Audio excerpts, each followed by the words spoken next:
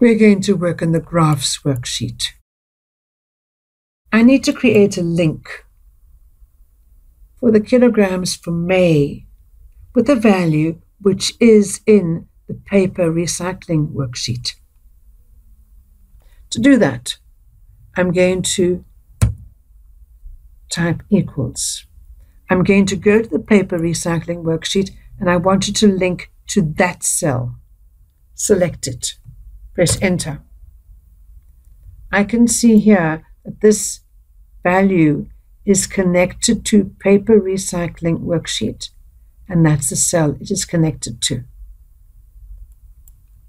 Now I need to create a graph. The graph must display the amounts collected for paper and for glass over those months. Let me select the months, hold down control, select paper and glass, let go control. I'm going to insert, I want to insert a column graph or chart. It needs a descriptive title, recycling. It needs axis titles here and here. To get them, select the graph, go there, axis titles. That one has been selected, so I'm going to put the amount kilogram this one selected and type in months. Enter. That is now done. I'm going to move this ch chart out of the way to make space for the next one. I now need to create a line graph to display the trend in the recycling of cans from January to May. Let me select the months. Hold down control and the cans. Let go control. Insert. Line 9. There we have our line graph. I must make sure that it has a nice descriptive title. Well, it has a descriptive chart title because I selected the word cans.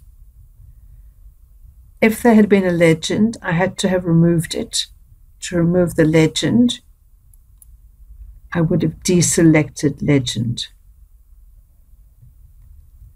Now, to emphasize this trend, we need the minimum amount to be 200. I'm going to select the y-axis, right-click, Format Axis. Minimum amount is 200. Enter. Close. There we can see the trend.